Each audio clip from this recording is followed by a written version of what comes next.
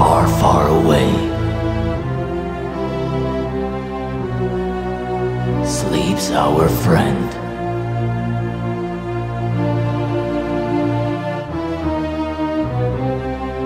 But evil never sleeps. It's time to be a hero.